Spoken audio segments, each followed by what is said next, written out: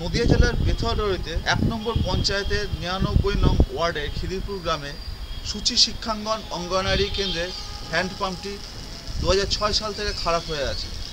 এই অঙ্গনারী কেন্দ্রে মা ও শিশু মিলে মোট পঞ্চাশ জন। এরা দীর্ঘদিন ধরে পানীয় জলের অভাবে ভুগছে। আমি দিব্যজ্যোতি কর্মকার, এই আমার সমুদায়। আমার ওয়ার্ডে একটা অঙ্গনওয়াড়ি সেন্টার আছে।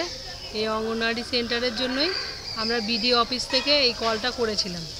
কলটা করার পরই জল আর ওঠেনি।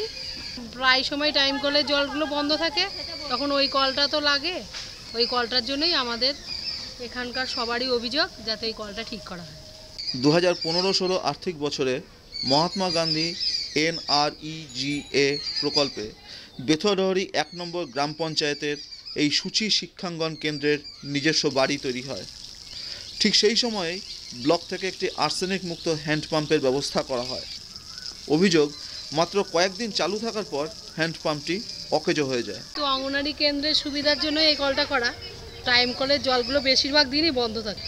এবার তখন ওই কলটা খুবই প্রয়োজন হয়। নিজস্ব কলটি নষ্ট হয়ে যাওয়ার জন্য গ্রামের কল থেকে জল সংগ্রহ করতে হয়। এই কলটি স্থানীয় বাসিন্দারা ব্যবহার করেন। ফলত বিপদে পড়তে হয় কেন্দ্রের মা শিশু ও দিদিমণিদের।